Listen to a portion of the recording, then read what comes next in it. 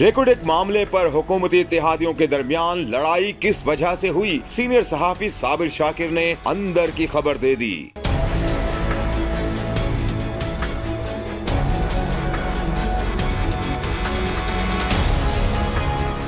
साबिर शाकिर का कहना था कि काबीना इजलास में हुकूमती इतिहादियों की लड़ाई किसी असूली मौके पर नहीं हुई, बल्कि रेकोडिक की अरबों डॉलर मतवक़ आमदन की गैर मुनसिफाना तकसीम पर फड्डा हुआ है। 130 अरब डॉलर के 30 साल मंसूबे में मतलूबा हिस्सा न मिलने पर फजल रहमान की जे यू आई फे और अख्तर मैंगल की बी एन पी ने शहबाज हुकूमत से अलग होने पर संजीदगी से गौर शुरू कर दिया है।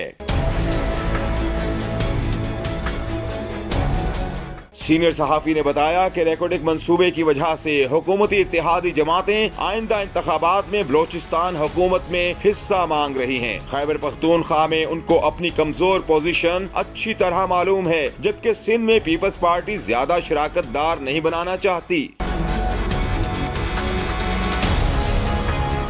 साबिर शाकिर का मजीद कहना था कि एक तरफ़ सियासी लड़ाइयाँ हो रही हैं तो दूसरी जानब एन आर ओ टू के तहत मुख्तलिफ़ सजा याफ्ता मुजरमान की लॉन्ड्री क्लीनिंग का सिलसिला जारी है। इस तनाजुर में सलमान शहबाज को भी क्लीन चिट मिल चुकी है, जबकि मियाँ नवाज़ शरीफ की बाइज्जत बरियत का फैसला भी बहुत जल्द मतवक़ है, जिसमें तमाम तर करप्शन चार्जेस को झूठ का पलंदा करार दे दिया जाएगा।